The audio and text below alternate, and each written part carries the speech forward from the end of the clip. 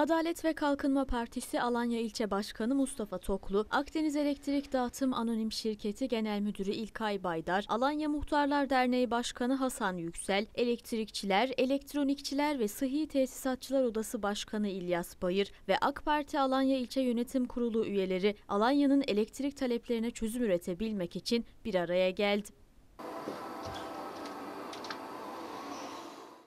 İlçe Başkanı Mustafa Toklu'nun öncülüğünde gerçekleşen toplantıda Yüksel ve Bayır Alanya'nın doğu, batı ve merkez mahallelerindeki talepleri Baydar'a iletti.